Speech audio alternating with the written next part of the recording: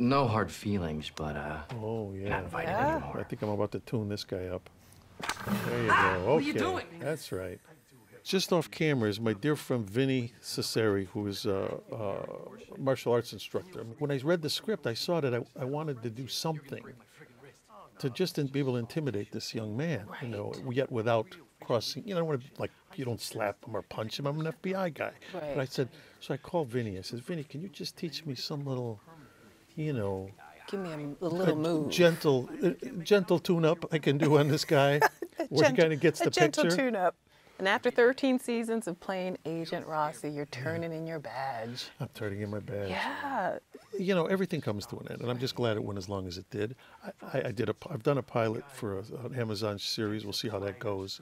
I may be directing a, a movie in the spring. A lot of guys my age, most guys are retired. They're like, you know, they're sitting in the backyard, you know, drinking a beer or golfing or something. I'm thinking, no, no, that's not me.